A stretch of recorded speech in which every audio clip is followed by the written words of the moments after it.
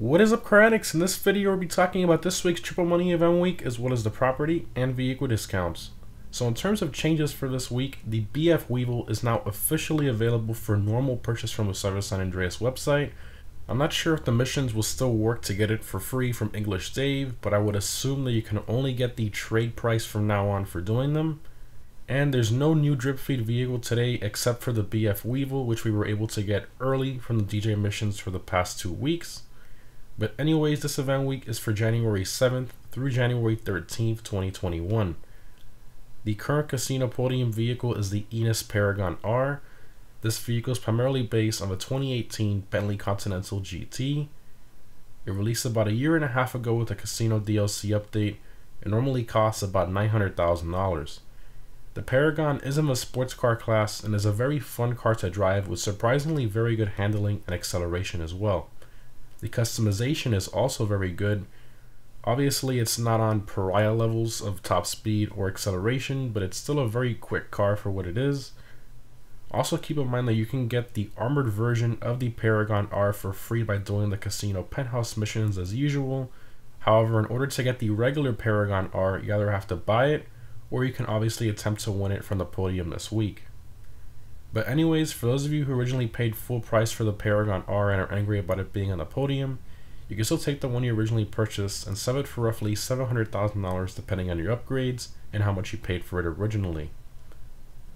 So, is the Paragon R worth attempting to win by spinning the lucky wheel over and over this week? Honestly, I'd say yes. In terms of customization and driving experience, it's a very good car and something everyone should experience in GTA in my opinion, if they like Bentleys or nice sports cars in general. So starting off with the property discounts, we have 30% off the hangars, as well as the upgrades and renovations for them as well. If you don't have a hangar yet, I highly recommend purchasing one. In terms of upgrades, I only recommend the living quarters so you can spawn in there if you choose, as well as the workshop upgrade. The other upgrades are mainly just styling upgrades which really aren't needed, Moving on to the vehicle discounts, we have 40% off the Cyclone. Now this car is in the supercar class and it's the fastest accelerating car in the class obviously because it's electric. Now as with most electric cars, its top speed is not very good and its handling is very poor as well. But it's still a great car to use for certain races with constant hairpin turns. Next up we have 40% off the Vision now this car is in the supercar class as well and is an absolutely gorgeous car in terms of styling in my opinion. However, in terms of performance, it's not very good and it's even slower around most tracks than is in Torno, which is pretty funny. Moving on to the Warstock website, we have 25% off the new Alkonost. This is the biggest purchasable jet in the entire game and is a ton of fun to mess around with with friends. It has the ability to drop bombs and has an off the radar stealth function once you reach a certain altitude. But other than that, there's really not much else to it. Even at the cheapest discounted trade price of about 2.5 million, I still feel it's too much money for what it is. Also keep in mind that you need to own a hangar in order to buy it.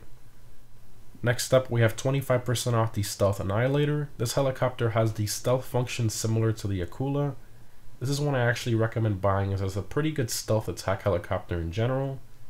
Also keep in mind that this one also requires you to own the hangar as well in order to buy it.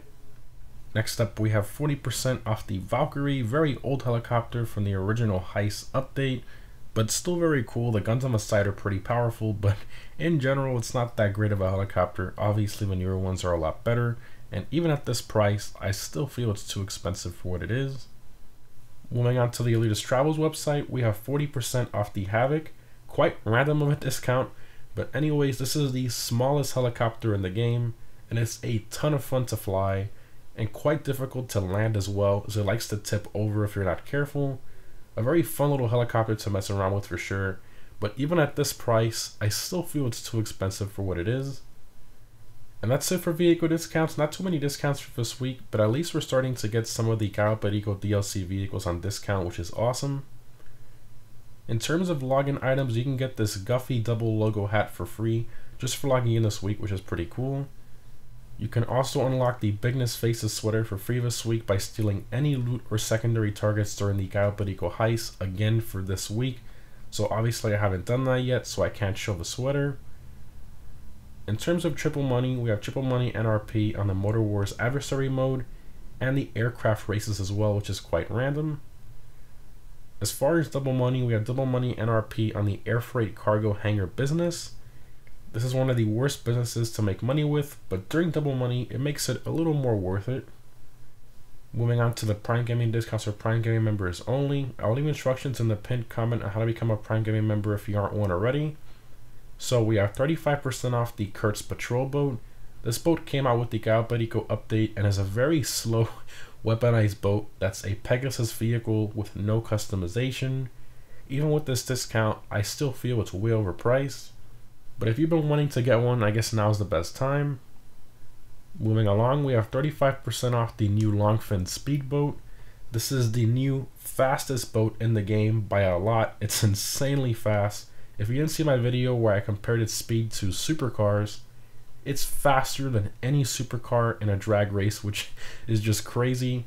Uh, I highly recommend purchasing this one if you want to have the fastest boat in the game. Next up, according to TezFunz2 on Twitter, we have 25% off the weaponized dinghy, but that boat hasn't released yet as you can see, so I assume that Prime Gaming discount is for next week when it will most likely release. And lastly, for Prime Gaming, you can get the sonar station upgrade for the new Kosatka submarine for free. This upgrade normally costs 1.2 million, and getting it for free is pretty awesome. Also, don't forget that just for logging in this week as a Prime Gaming member, you'll get a free $200,000, which is pretty cool. Again, guys, if you don't save a discount on the Patrol Boat or the Longfin, it's because you don't have your Prime Gaming account linked to your social club. Again, all the information on how to do that is down below in the pinned comment. And lastly, we have, of course, the RC Bandito Time Trial Cypress Flats. This week's normal time trial is Casino, I highly recommend Arely Shotaro, Hakuchou Drag, Bati 801, Emerus, Krieger, or an F1 car for that time trial. And this week's premium race is the muscle car race Muscle In. I highly recommend either the Pißwasser Dominator, the Yosemite, or the Vapid Clique for this race. Every Friday I post a guide on how to easily beat the time trials and premium race, so stay tuned for that if you're new. Anyways, guys, hope this was helpful. This event week is pretty decent in terms of overall discounts as we're starting to get some of the new Cayo Perico vehicles on discount, which is really nice, with both regular discounts and with Prime Gaming. In terms of triple and double money, it's kind of average for this week, not really too great. I think we're definitely moving in the right direction as they gave us a business on double money. Um, hopefully next week we get something better on double money like bunker or CEO crates or maybe even the, they might give us the new Golden Panther statue to be able to steal from the Cayo Perico Islands. That'd be really nice if they finally activate that. But I guess we'll see next week to see what happens. But anyways, guys, thanks for watching, and I'll see you in the next one.